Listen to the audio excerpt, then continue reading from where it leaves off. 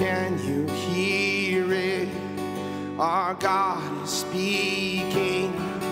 Oh, can you see it? He's got your healing. Oh, just receive it. Receive the freedom,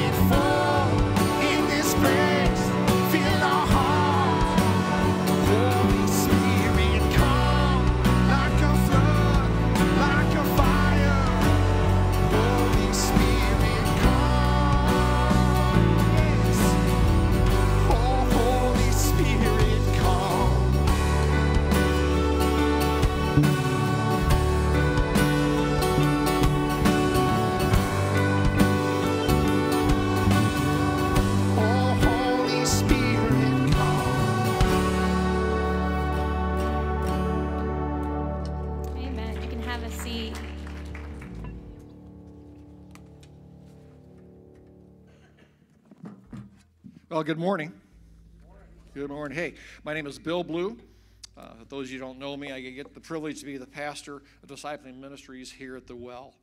Um, several years ago, I had the privilege to be with 700 quality students and adults in Chicago. On this particular day, half the group stayed back and prayed for three hours while the rest of us went out to the streets to learn how to listen to other people's stories and to share our, our own story right there along the beaches of Lake Michigan. Around three in the afternoon, uh, we could see we were near Navy Pier, and there was a storm coming off the lake. I don't know if you've ever been on one of the Great Lakes. The storms are very obvious when they come in, and it was coming in and coming right toward us. And the rain, what that would do is that drive everybody off the beaches, which makes sense. You don't stay on a beach in the rain, and that would also limit our chance to really share with them, and limit the chance for us to be able to listen to people. And then suddenly the storm turned south, and you could see it turn from Navy Pier and shoot south, and it soaked all of South Chicago.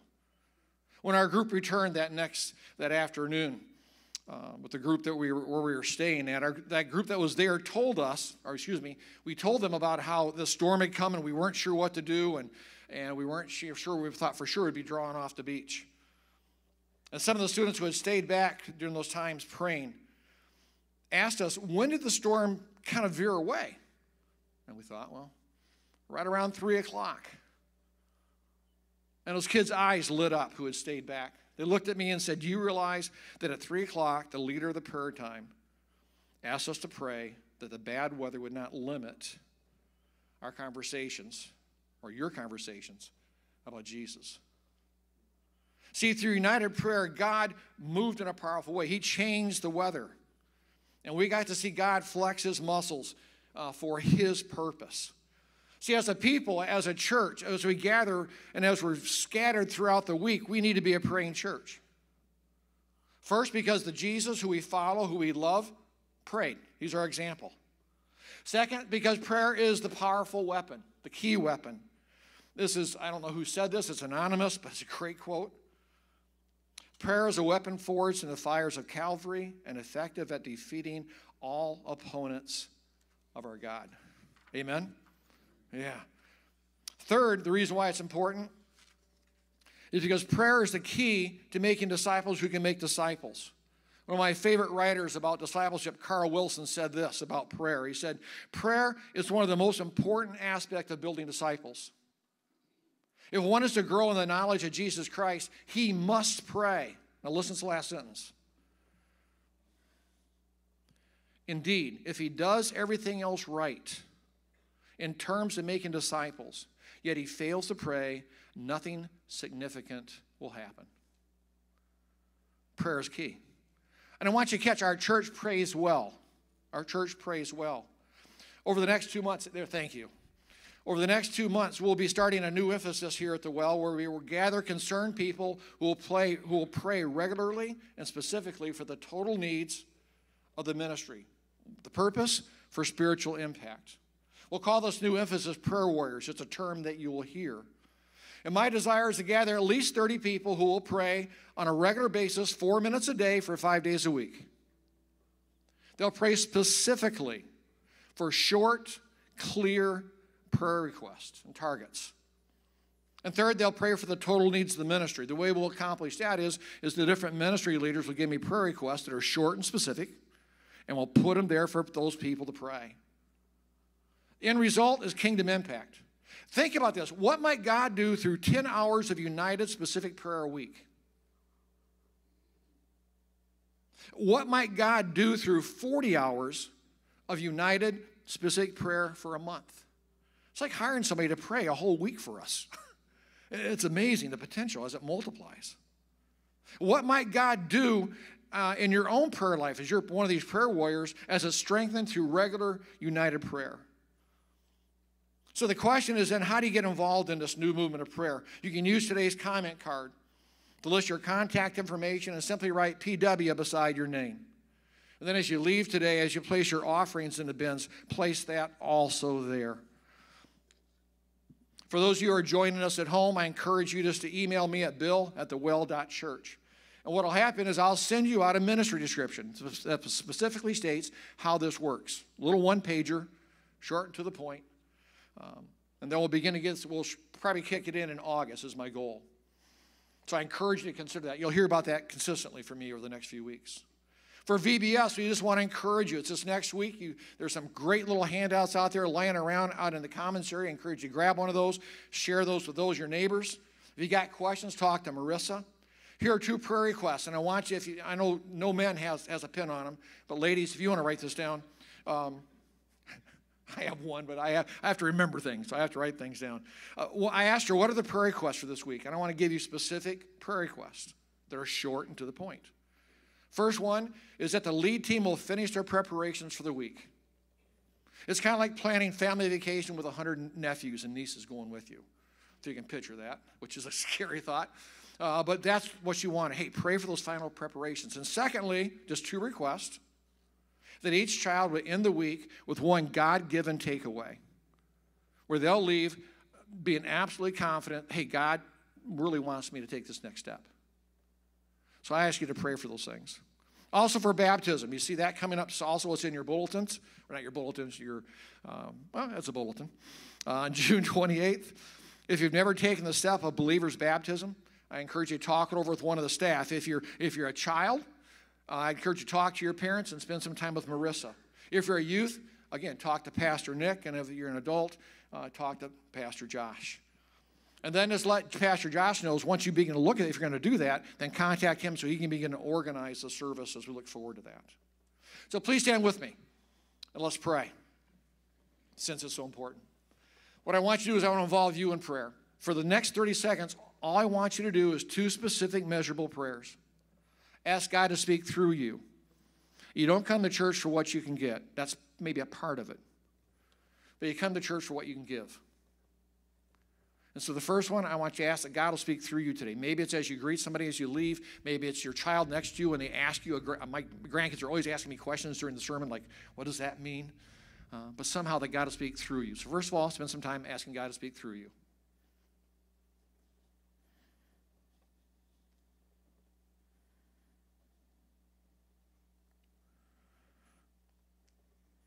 And then for this last little bit, ask God to speak to you. Ask God to speak to you. I, I kind of dare you to do that. Most of us don't do that, but I dare you to do that. See what God does.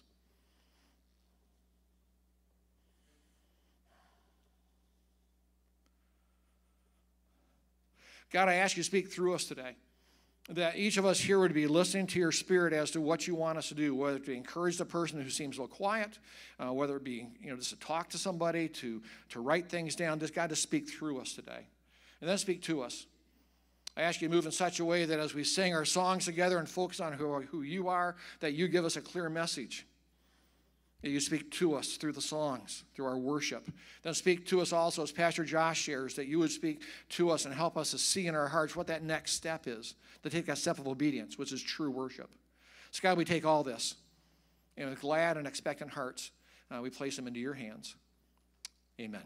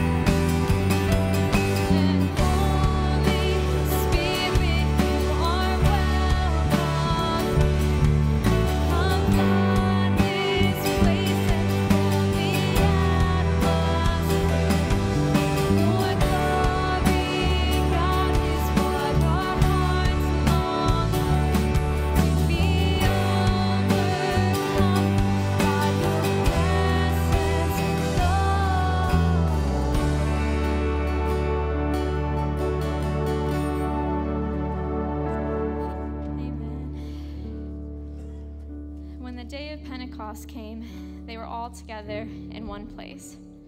Suddenly, a sound like the blowing of a violent wind came from heaven and filled the whole house where they were sitting. They saw what seemed to be tongues of fire that separated and came to rest on each of them. All of them were filled with the Holy Spirit and began to speak in other tongues as the Spirit enabled them. Now there were staying in Jerusalem God fearing Jews from every nation under heaven. When they heard this sound, a crowd came together in bewilderment, because each one heard their own language being spoken. Then Peter stood up with the eleven, raised his voice, and addressed the crowd Fellow Jews, and all of you who live in Jerusalem, let me explain this to you. Listen carefully to what I say. This is what was spoken by the prophet Joel. In the last days, God says, I will pour out my spirit on all people. Your sons and daughters will prophesy. Your young men will see visions. Your old men will dream dreams. Even on my servants, both men and women, I will pour out my spirit in those days, and they will prophesy. So today is Pentecost Sunday, and it's commemoration and celebration of receiving the Holy Spirit by the early church. And after he ascended into heaven, Jesus told the disciples to wait in Jerusalem for the Father's gift of the Holy Spirit, from whom they would receive power to be his witnesses to the ends of the earth. So on the day of Pentecost, just as promised, the sound of a violent wind filled the house, and tongues of fire came to rest on each of them, and they were all filled with the Holy Spirit. They were given the power of communication, which Peter used to begin the ministry for which Jesus has prepared him. After the coming of the Holy Spirit, the disciples did not stay in the room basking in God's glory, but they burst out to tell the world. This was the beginning of the church as we know it. So let's continue as the church singing with the Holy Spirit because that's his gift.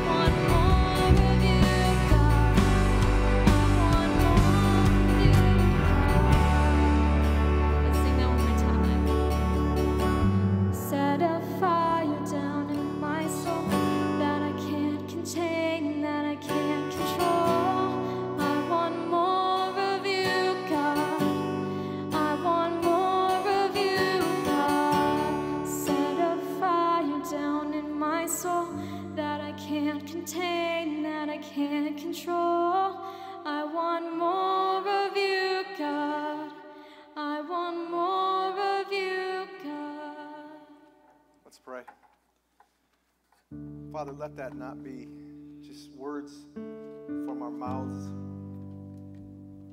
just passing through our heads. Let them be the heart cry of our soul. Lord, let us crave you. Teach us to crave you as we crave nourishment, as we crave meals, as we crave um, water when we are thirsty. Lord, I pray that you will teach us to crave you and your spirit in very physical ways. I just pray now that in this room that we would be hearers of your word. And as you, your scriptures also tell us, not just hearers, but doers of your word. Lord, as we transition into this time of teaching, I ask for me, for more of you, less of me. And may the words of my mouth and the meditations of my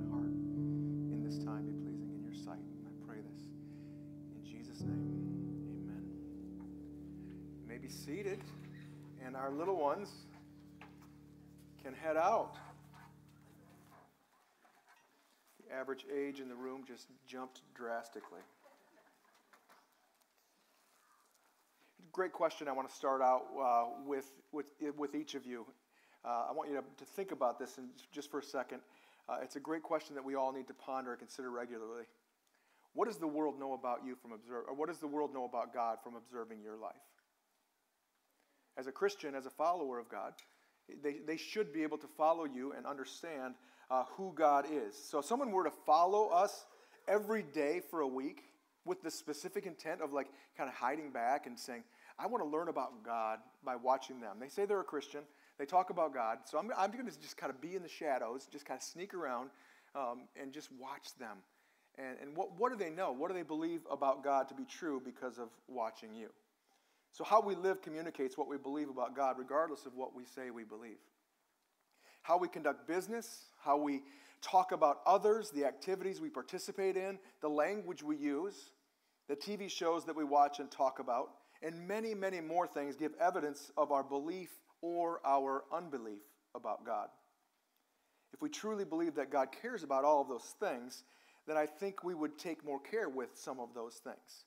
But as I tend to see it, the average Christian in America believes that God cares very little about those things because they care very little about those details as well. In the passage that we're going to study this morning, we're, we're challenged to care, care very deeply about the, the details of our lives and how we live, particularly the parts of us that are on display to the general world around us.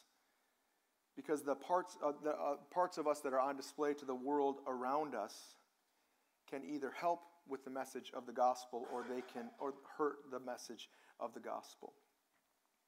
How we live sends a greater message than what we say we believe. It's just that simple.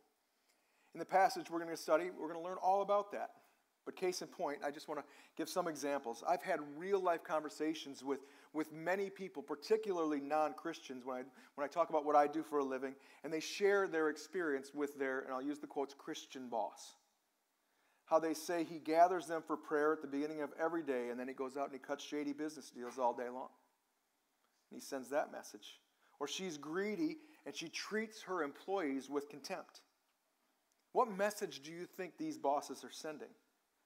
What happens when you put a Bible verse all over your workspace and, the big, and you're the biggest gossip in the office? Or you're openly hostile toward others. You applaud the failures of others when you see them fail around you. Uh, you'd think that a coffee mug that says, The joy of the Lord is my strength, is, strong enough, is a strong enough message to overcome your public brokenness or posting things on, on Facebook and Bible verses that, that contradict how people see you live?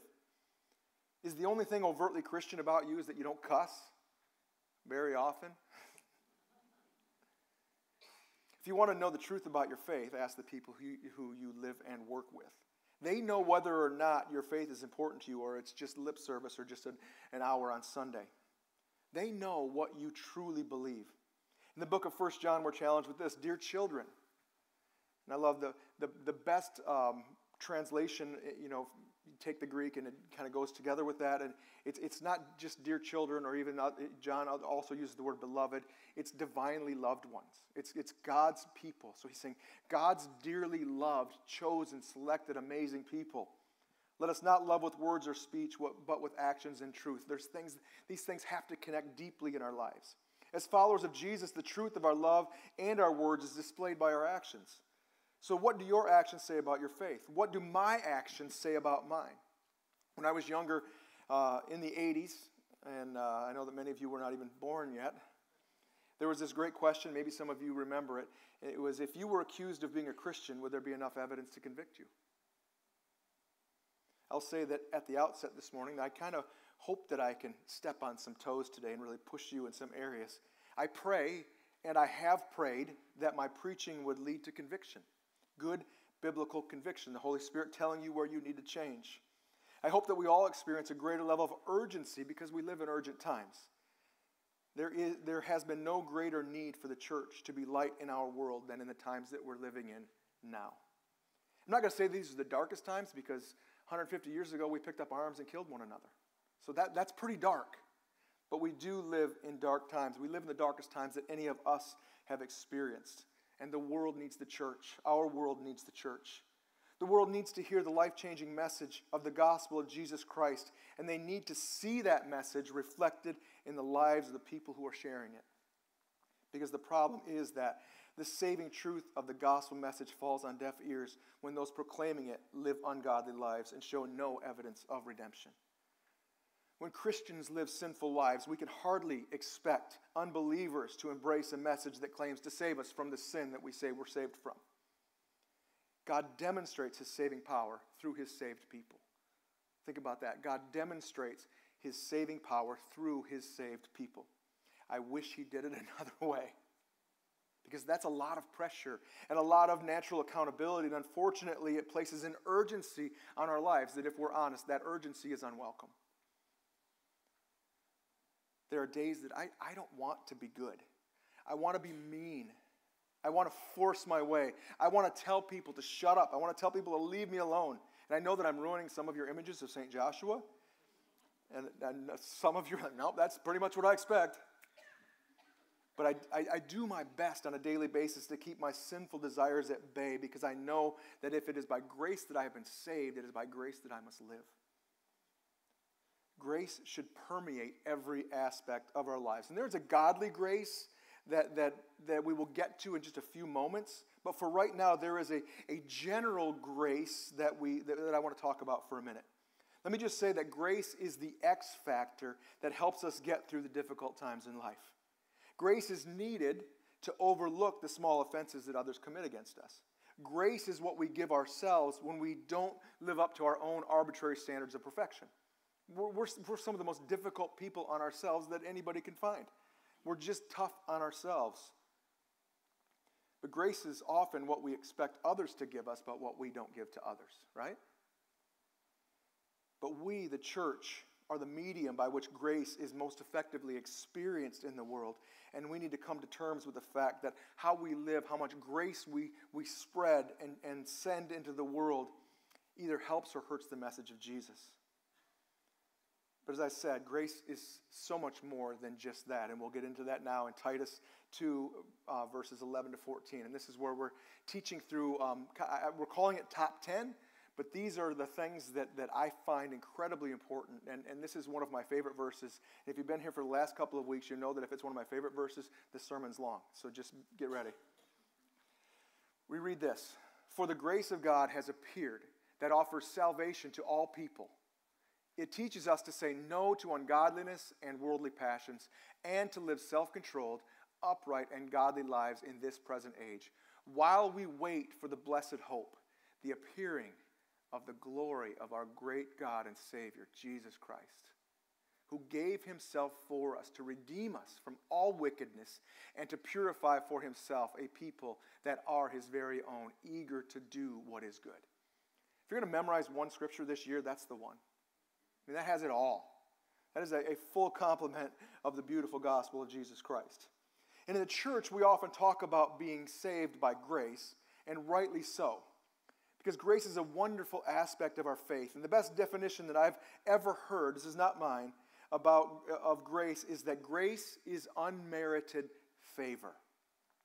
Grace is an amazing gift that we know that we just don't deserve. If you've ever received a gift, like an extravagant gift that someone gave to you, you're immediately humbled They give you this gift, and you're like, I, I don't deserve this. This is too much. And it, it immediately humbles us. And, that, and that's what grace is. Now, I've received gifts or awards that I can justify that I'm deserving of having because I've earned it. Maybe I've, maybe I've won a competition. I don't, I, that's not a graceful gift given to me. I don't appreciate it because I did something for it. But grace is grace of the grace of God is something that I did nothing for. And it leads me to a, to a deep sense of repentance and remorse for my brokenness. And the truth is that when we underestimate the value of something, we fail to truly appreciate it.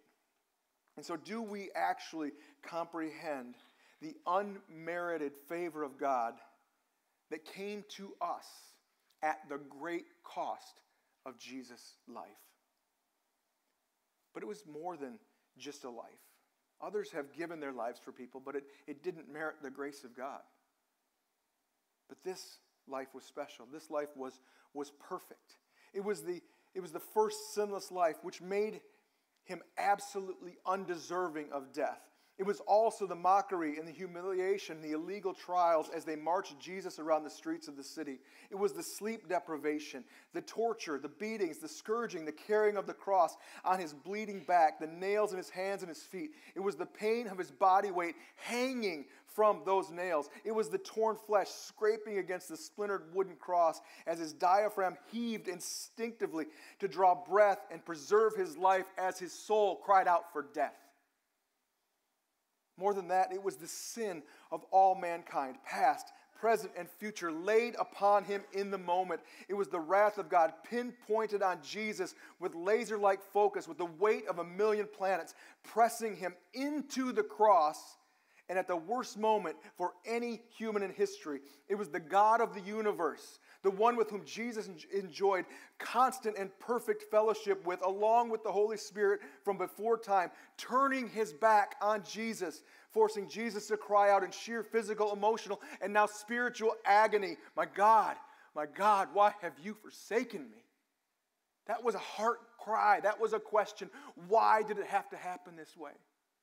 But he knew, he understood that truth. And so we have to look at that and ask ourselves, why did Jesus deserve to die? And the answer is Jesus did not deserve to die, but he needed to die for us to experience grace, for us to have the extravagant gift of his unmerited favor upon us. And why do we only think about this horrific stuff on Good Friday? Why do we not truly appreciate this grace every single day? And why do we think Jesus gave all of his life spiritually so that we could sum it up with just trying to get across the finish line? Why do we think that the that, that bare minimum would pass for faith? If the cross of Christ teaches us anything, it's that faith requires full commitment. Not what passes for casual Christianity today. And this is not a guilt trip. If it were, it was a guilt trip against me. These are words to myself first. This is an invitation to contemplate the reality that while grace is free to us, it is certainly not free. Grace is an extravagant gift that should, be, that should regularly humble us as we think about the actual cost of our grace. And what we have to see in the subtleties of today's passage is that grace is a person. The unmerited favor of God to us is the person of Jesus Christ. Grace appeared in human form to offer salvation. The grace of God is more than a divine attribute, it is a divine human. Jesus Christ not only was God incarnate, he was grace incarnate. In Paul's writing, he wants us to get this, so he articulates this truth a couple more times. But here's one. But when the kindness and the love of God, our Savior, appeared, he saved us not because of the righteous things we had done, but because of his mercy. This kindness or this grace of God teaches us very important aspects of God's character. And one is that God shows up and God gives extravagant gifts. Don't we love that, that person at, Christmas? You know that person who's going to get a great, give a great gift. It should be all of us. We should all be that generous. But we are all, there's always a person that we're looking forward to getting a gift from them. Because when they show up, they give and bring extravagant gifts. It's a beautiful picture of God's grace. We as Christians, we should be the best gift givers there are because that's what Jesus did for us. We should show up, we should give, we should be generous beyond measure. God does not manage things from afar, and He is not stingy. He stepped into our reality, and He continues to do so because we continue to need Him, and we need the salvation that He offers.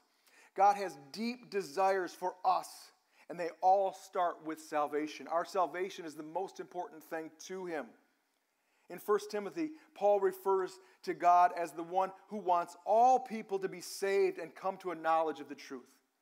Wants all people. There's nobody that God is so mad at that he doesn't want them to come to faith. He wants all people.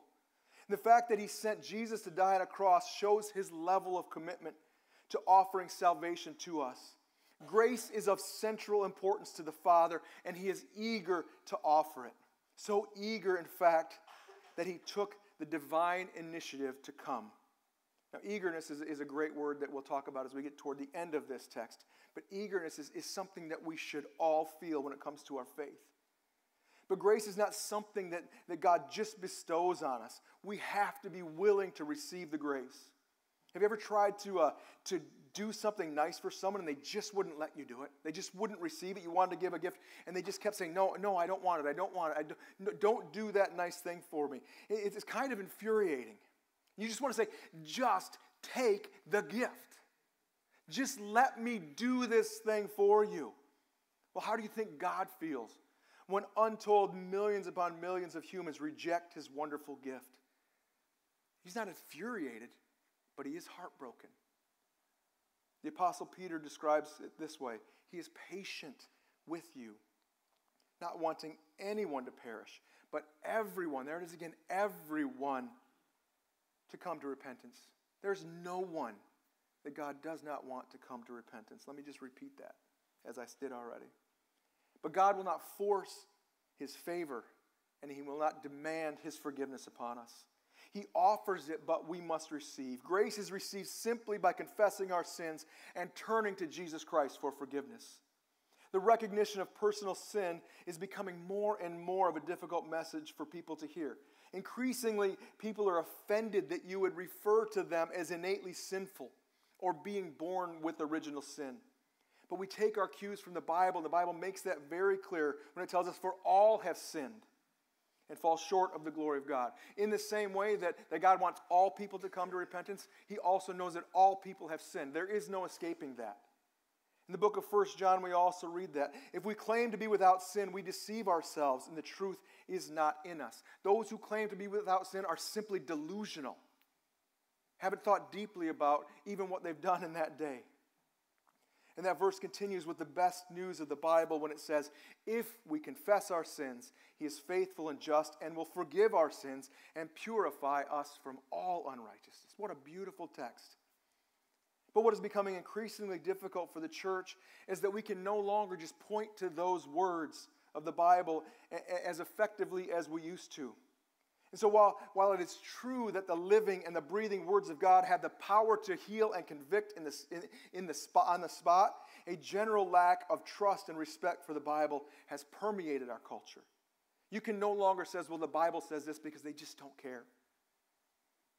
So, this lack of trust in the Bible is, is even causing divisions in the church. Some of the things that we all used to agree on are regularly up for debate even from some pulpits. And this is confusing to our society. And they mistrust the Bible because they see our mishandling of it. That too often we don't believe what we're professing because we don't live what we say we believe. But we have to, we, the church, the one that God unleashed on that day of Pentecost, we have to believe that the gospel will do what it has already done numerous times in our world in the past. The gospel transformed the unbelieving world that we find in the New Testament, and it can transform our unbelieving world today. Our current, our current world does not surprise God. And the truth is that we have more in common with the first century church than we have with the last century church. The truth is, we have more in common with the first century church than we have with the last century church. Many of us were a part of that last century church. That church is gone. God is breathing fresh life into us. And we need to adapt, stay true to His word, but realize that, that we're no longer sharing the gospel with 1950s America. We're sharing the gospel with a culture not unlike the first century the Greeks, the Romans, the Asians. This means that, that we have a broad range of belief systems that reject absolute truth.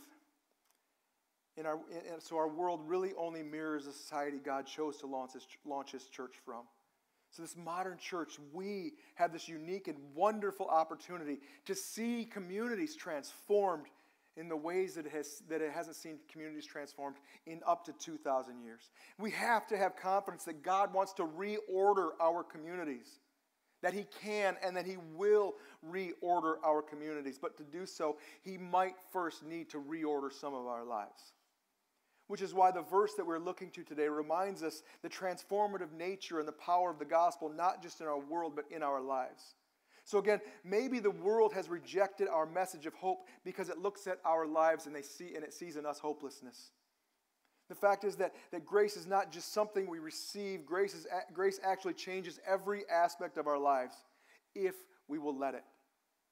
And this grace does, does something in us internally. And the first thing that it does, and we learn this from the text today, is it teaches us to say no to ungodliness and worldly passions. We got to get better at saying no. Because once sin has lost its power, grace will give us new desires. Or should I say that, that sin should increasingly lose its power on us? So, freedom from ungodliness and worldly passions is a lifelong battle that must be waged on a daily basis. And while we have God's word and the church to help us with this battle, we have an even greater weapon at our disposal. It is the Holy Spirit of God who has taken up residence in us. We celebrate that fact today as we already have on Pentecost Sunday. Paul in, intentionally uses the word teaches to show that this is a process. There is no divine download. We must become students of righteousness. We don't just get saved and stand there like this, and God goes, All right, I'm just just going to quick, like a thumb, I'm going to stick a thumb drive in your arm and give you everything you need to know. No, we must become students of righteousness. He tells us in 1 Corinthians chapter 2, what we have received is not the spirit of the world, but the spirit who is from God, so that we may understand what God has freely given us. This is what we speak, not in words taught by human wisdom, but in words taught by the Spirit taught by the Spirit as he explains spiritual, spiritual realities with Spirit taught words. But a teacher is only as effective as a student who is willing to listen and submit. There's some teachers in here right now that are so glad it's summer, and they would say amen to that. I can't teach you what you don't want to know. I can't teach you when, you, when you're too proud to learn. Sadly, through middle school and high school, I didn't learn very much because I was not humble enough to listen. And sadly, my process of godliness is taking much longer than it probably needs to because of my continued spirit of rebelliousness. And so, just to kind of wrap this up today, that's kind of a misnomer. You think I'm going to be done in like five minutes. I'm not. Let me share four characteristics that we can adopt as students from this text that will help us in the process of godliness even shift, even the shift in seeing ourselves as students in the process, in a process, will give us the humility to become learners. First off, we see that students live self-controlled lives. Self-controlled actually translates in the Greek word sophronos, which carries the basic idea of, of having a sound mind. Followers of Jesus have a sound mind, that we know that we're renewed by the, or we're, we're changed by the renewing of our minds. God gives us new thoughts, new ways of thinking. The Holy Spirit changes us and reorders our brains first. A sensible follower does not allow circumstances or, bad, or the bad influence of others to distract us or, or, or mess, up, with our, mess our, up our judgment. Self control means that we avoid getting involved in things that are immoral or unspiritual but we also avoid things that are simply trivial and unproductive. There's a seriousness. I mean, we're yes, we're fun. I'm never, I'm never going to not try st- uh, stop trying to be fun. I, I love life. I, I love to enjoy life. I love to enjoy life with you. And it's not about becoming a stoic and just sitting and, and contemplating on why I need to stay angry all the time because the world is falling apart. But I need to not worry myself with so many trivial matters. So here's just a, a couple of questions about our sound minds. Do you believe everything you read or hear? When someone comes to you with their side of the story, do you automatically believe it? Are you instantly swept into emotion? A student learning self control takes a deep breath and a step back. A student learning self control takes a deep breath and a step back. When you hear something shocking, particularly about someone else, we're, we're quick to say, I can't believe he did that. I can't believe she did that. That's so unfair of that person. A self controlled Christian who gives grace simply says, hmm, I'm pretty sure there's more to this than that. That is our automatic assumption and response when we hear things about people, any person, not just people in the church, but any person. Let me take a step back and a deep breath, because that is what Christ is calling me to do. Secondly, we know that students live upright lives. Living a, a self controlled life could relate to continuing to change us within, or continue to change within us personally, while living upright lives connects with our changed relationship with other people. So the first one, the, the, um, the what was the, first one? Uh, the self controlled life is, is my relationship with me. An upright life is my, is my relationship with others. This is, this is incredibly important because this is where people begin to see the changes in our lives as we live and interact with the world around us. Living upright means that we affirm what God says, we don't contradict it. One of the best ways that we can grow in this area is to begin to, to, to faithfully obey the Word of God. And to do that, we need to know the Word of God. As a student, let me ask you, are you daily interacting with God's Word at some level? I'm not telling you to read an hour a day, I'm not telling you to read 20 minutes a day. You can read a verse, you can, you can ask your phone to send you a verse of the day. You can interact with God's Word at some level every day. You should then want more. You should ask God for, for hunger, to desire to want to read it and ingest His Word into our soul more and more. So, are you even doing that? Are you taking advantage of the countless ways that God's Word is avail- available to you every single moment? Are you a student of the Bible or are you just a casual observer? Thirdly, students live godly lives. Living a godly life refers to our changed relationship with God Himself. So, first, we have the relationship changed in us. Second, we have the, relationship changed with the world around us. And now, this is the relationship with God Himself. Students grow by watching and mimicking their teacher. Do we see the world as God sees it? Do our hearts and our desires reflect God's hearts and desires? Does reaching people for Christ and sharing the gospel matter deeply to us because it matters to God? Does the lostness of our world move us to compassion or to apathy? Jesus told us why he came. He said, For the Son of Man came to seek and to save the lost. That's pretty clear.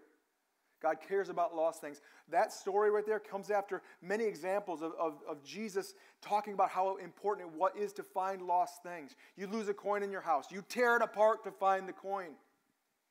You, you find a, a lost pearl in a field. You dig everything, you, you sell everything to, to own that field. You do everything. You, the sheep goes away. You, you leave the 99 and you go find that thing. You find that sheep. The prodigal goes and you wait longingly for the lost thing. Jesus cares about lost things, deeply about lost things. In fact, that's why he came to seek and to save the lost. Again, isn't that what we talked about earlier? He shows up and he gives. He comes and he saves. It's beautiful. So, have we adopted that mission or are we just all about ourselves? If God cares so much for the lost that he sent his son, it's impossible to live a godly life that is absent of a deep concern for lost people. Our mission must always include seeing people come to repentance and follow Jesus as Lord. So, lastly, Each of those characteristics is part of the purification process. Jesus has redeemed us from wickedness and is purifying us through our relationship with Him and His teaching of us through the Holy Spirit daily if we will listen. And through that process, something tangible should be the result. It should produce students who are eager for good works. Good works are the natural byproduct of a student of Jesus. Other uh, Bible versions use the word zealous, and I love that word zealous. Simply put, we're to become good deed zealots with a burning passion to care for others. Paul, Paul doubles down on this concept one chapter after this in the book of Titus by summarizing all that we have just studied and saying this He saved us through the washing of rebirth and the renewal by the Holy Spirit, whom He poured out on us generously. There's that concept generously through Jesus Christ our Savior, so that having been justified by His grace, we might become heirs, having the hope of eternal life. This is a trustworthy saying. And I want you to stress these things so that those who have trusted God may be careful to devote themselves to doing what is good. Careful to devote themselves to doing what is good. These things are excellent and profitable for everyone. We are to be excellent and profitable for everyone. God's people are careful to do good deeds. We go out of our way and we go to great lengths and take great pains to do good things. We are saved in order that God might demonstrate his glorious, extravagant grace through us. And I love this. We are therefore Christ's ambassadors. We stand for him, we stand in place of him, as though God were making his appeal through us. If God is making his appeal through you, what kind of appeal is he making? Is it a good one? Is it a convincing one? Good deeds are not to be a, a kind of add on to our Christian lives, something that we do at our convenience, but they are to be a natural and integral part of our daily living. So, do you actively look for ways to be a blessing to others? Imagine the impact on our little community if every single one of us was zealously committed to the good of others, regularly doing good deeds, like daily doing good deeds. I know what would happen. Jesus told us. He said, Let your light shine before others, that they may see your good deeds and glorify your Father who is in heaven. When we do good deeds, we glorify our Father in heaven. That's the result of our goodness. If God shows up, we show up. If God gives, we give. We go. We look for the good we can do and because eh, we good, the good we can do, and we do it because God wants all people to come to a saving knowledge of God through repentance. The point of the passage today was, the, was this that Jesus came to us, so we must go to others. And when we are careful to do these things, we will look different to the world. We will become, we will represent God's people. We will look like Him. God will purify our hearts and our desires, and we will become distinctly different from the world around us in good ways. We will garner attention for the right reasons and not the wrong ones. By doing these things, we will become uniquely fitted and equipped for God's purposes. Simply put this way God's Spirit in us, making his appeal. Think about that. God's Spirit in me making his appeal through me. God is making his appeal through us. He's telling the, the world around us about himself through us. What is the message that the world is receiving? Let's pray. Father, thank you for co opting us into your plan, into your eternal plan to save a lost and hurting and broken world. Lord, I confess too often when I see the brokenness and the, and the unbelief that I, I, I respond with animosity and frustration and anger and bitterness toward unbelievers, Lord, but that is not your heart. I was once that embittered and angry person, and I cursed you with my anger, and I cursed you with my rebellion, and I cursed you with my apathy. And Lord, you reached out to me and you received me with your extravagant, good, and wonderful grace. And Lord, if I would dare receive that grace, I must then be a dispenser of that grace. Teach us, Lord, as a church, as students, to be the men and women that you have called us to be, your ambassadors, making your appeal to the world through us. We pray this in Jesus' name. Amen. As a transition here into a time of communion, we see another element of this passage that is communicated consistently throughout Scripture, and that is that Jesus is coming back. We do all these things, as, the text told us, while we await, while we wait for the blessed hope, the appearing of the glory of our great God and Savior Jesus Christ, who gave himself for us. And the night that Jesus was betrayed and, and would be sent to his death, he told us what his death would mean. But more than that, he gave us a sensory representation of what it means. Through communion, I love that we can taste and we can touch and we can smell the reality of his sacrifice for us. We read about the institution of the Lord's Supper in Matthew 26, where it reads this While they were eating, Jesus took bread, and when he had given thanks, he broke it and he gave it to the disciples, saying, Take and eat. This is my body. Then he took a cup. And when he had given thanks, he gave it to them, saying, Drink from it, all of you. This is my blood of the covenant, which is poured out for many for the forgiveness of sins. And then Jesus makes this final statement, which kind of ties into what we're talking about today. I tell you, I will not drink from this fruit of the vine from now on until that day when I drink it new with you in my Father's kingdom. When I come back, and we will do this again. Jesus say, is saying, I'm going away, but I'm coming again. And to those awaiting the, the blessed hope, it will be a glorious appearing. It will be a beautiful day. This is a great reminder that as much as communion is about self reflection and reordering our relationships, it is about looking forward to Christ's return. Communion in the church is as much about the hope of Jesus' return as it is about his great sacrifice on our behalf. At the well, if you're visiting with us today, I want you to know that we, we practice what we call an open table. We believe that biblically communion should be open to all believers, not closed to a particular church or denomination. We believe that what, what's important is that the participants in communion have confessed and repented of their sin and are devoted followers of Jesus Christ, walking in unbroken fellowship with Jesus and with other believers.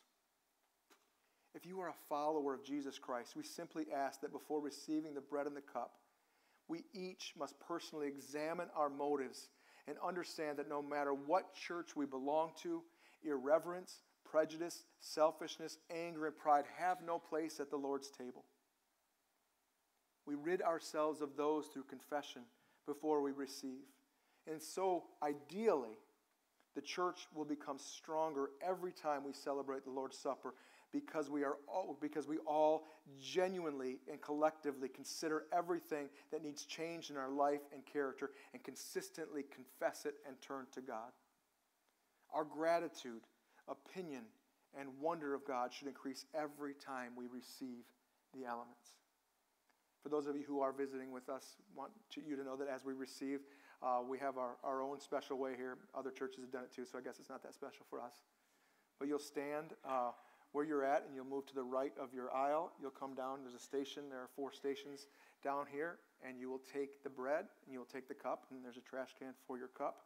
Uh, and then you'll return to the opposite side and just kind of slide where you're in. It's, it's, it's very smooth and it works out very, very well for us. And then we'll, we'll just go into that time in just a few moments here.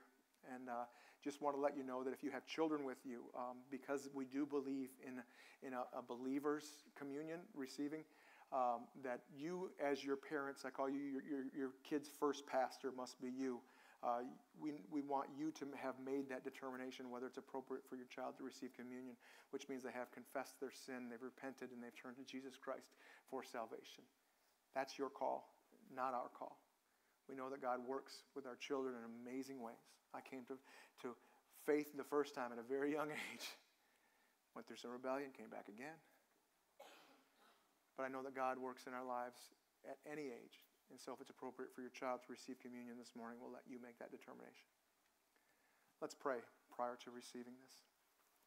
Father, thank you for this bread, which represents your body, which we talked about earlier, Lord, which was given for us in horrific ways, that we would truly understand as we touch it that this was a real thing that happened.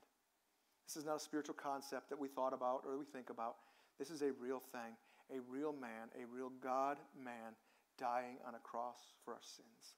And Lord, as we think about that, also we cannot help but think about the blood which flowed from your wounds, the wounds covering your body, covering your head, running down your face, running down your back, the wounds that, that scarred you even eternally, Lord. We know that when, when you came back from the grave, you showed your scars, Lord. You were still scarred as a reminder of our sin and our brokenness.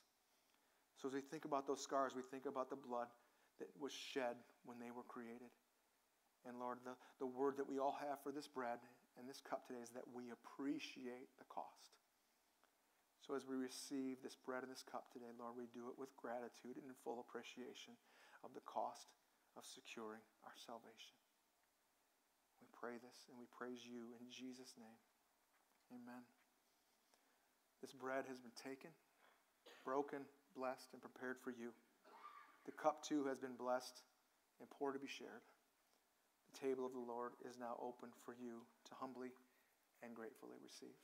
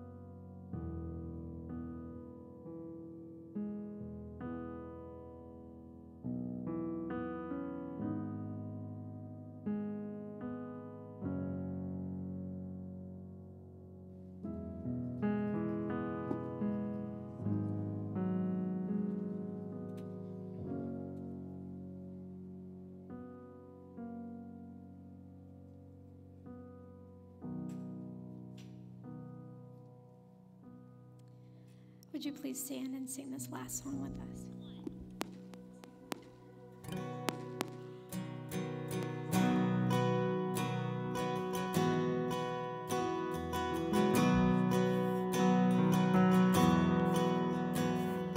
Alone in my sorrow and dead in my sin. Lost without hope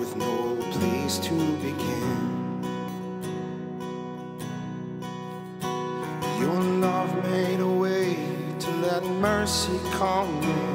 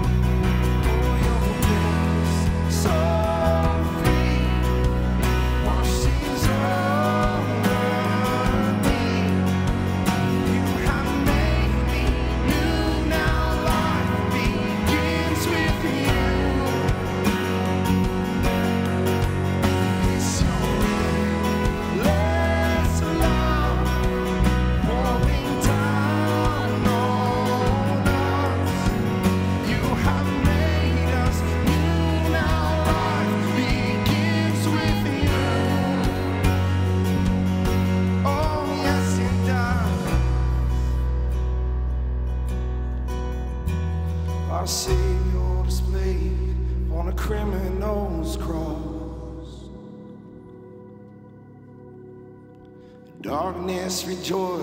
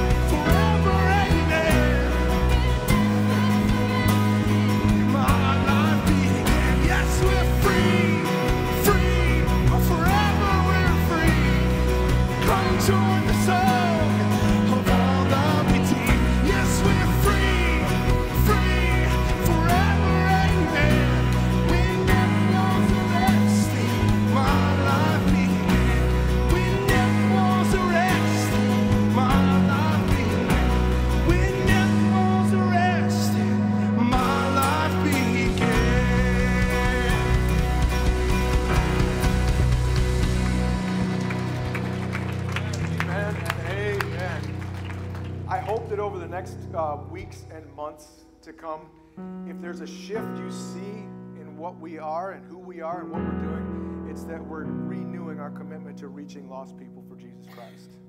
I don't want to say we've moved away from that or we ever moved away from that, but I don't know that it's been the focal point that it's been that it is necessary that it is. If Christ cared about lost people, we must care about lost people. If death was arrested and my life began in my salvation, then we should desire that for others. At Pentecost, they went out. On that day, 3,000 people were added to their number by the Holy Spirit. So we don't just sit in our room, our 120 people, and, and, and cower from the world. We embrace the brokenness and watch God do His work. If you brought an offering this morning, you can leave it on your way out in the offering bins. I wanted to remind you that the, the only way that, that reaching the lost is going to be successful is if we pray about it. So if you want to be on that prayer warrior team, please remark that in your in your bulletin and also leave that in the offering bins on your way out. We want to start connecting you with that prayer uh, exercise and with that prayer um, initiative that we're going to go under. So as we close, let me just ask God to bless us by simply saying, Now may the grace and peace and presence of our Lord and Savior Jesus Christ be with you and abide with you both now and forevermore. God bless and amen.